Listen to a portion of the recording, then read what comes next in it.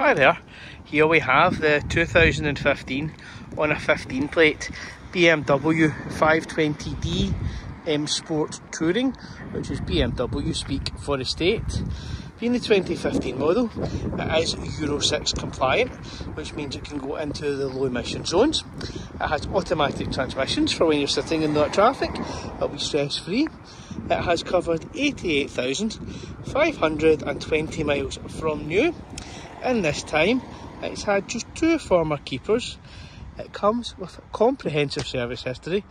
The first three or four services are BMW main dealers on the iDrive, and thereafter it has been independent garage servicing. But there is a big file of invoices documenting the maintenance that has been carried out on this vehicle. We have just serviced it ourselves for sale. This has been done at an independent BMW specialist, and the iDrive has been updated. The alloy wheels have been refurbished in sparkle silver, so they look wonderful, much, much fresher. And they've got new rear tyres as well. The vehicle does have the rear sun protection glazing, as we can see. It is finished in alpine white and it does have a full black leather inside of which the front seats are electrically adjustable and heated round the front we've got M Performance style black grills and we've got the headlight eyebrows to give it a bit more attitude. We've got xenon headlights and LED fog lights in there, so great visibility is assured. We just take a look inside, things are just as nice in here. So I've got the full black leather interior, as we can see. We've got the M Sport kick plates. Underneath our carpet mat, we have the genuine BMW rubber mats. We've got auto headlights, four electric windows and electric mirrors. We've got the multi-function leather steering wheel.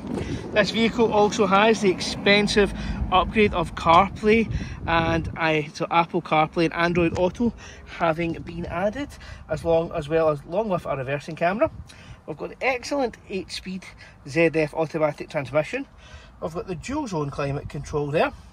You can just see the clocks are nice and simple, very typically BMW to understand. And we've got a cavernous armrest and it's an excellent family vehicle given it's got loads of boot space and loads of space in the back. So again, more genuine BMW mats. Uh, leather interior that's in fantastic condition. We do have Isofix car seat mounting points there on both outer rear seats. Centre armrest to separate squabbling kids if required. And we've got the luggage guard there as well. And if we open the boot very quickly, well it does open two ways. You can open it as such. Can see the parcel shelf still retracting automatically. So you can just put things in like that, or you can fully open the tailgate per se. And you can see it's absolutely cavernous in here. And you do have a set of carpet mats there for summer use. Previous owner was very, very diligent about that.